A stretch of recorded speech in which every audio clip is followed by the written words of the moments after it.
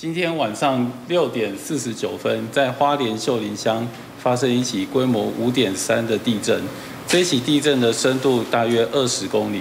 那我们可以从这个图上面可以看得到，在花莲市区大概震度有达到四级。那整个北台湾、中台湾其其实都是可以很明显感受到这个震动。那特别提到在新北市跟台北市，由于有一些高楼，那高楼在受到这个地震影响之后呢，它的摇晃会特别的显著。所以我们研判接下来的三天内，大概会有规模四点五到五的地震，还是会会出现。想看最完整的新闻内容，记得下载 TVBS 新闻网 APP。